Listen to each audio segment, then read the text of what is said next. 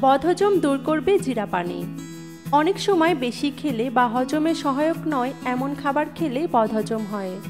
বদহজম হলে সাধারণত পেট ব্যথা করে কিংবা গ্যাস হয়। তখন বমি বমি ভাবও দেখা দেয়।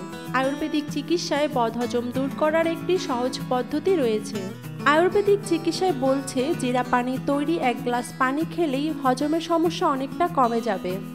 কারণ জিরায় থাকা থাইমল শরীরের পাচনের এনজাইমগুলোকে জাগিয়ে তোলে, সেই সঙ্গে হজম ক্ষমতা বাড়ায়। জিরা পানি তৈরির পদ্ধতি বেশ সহজ। এক কাপ পানিতে জিরার কয়েকটি দানা দিয়ে ভালোভাবে ফুটিয়ে নিন। এরপর এটি ঠান্ডা করে সকালে খালি পেটে খান।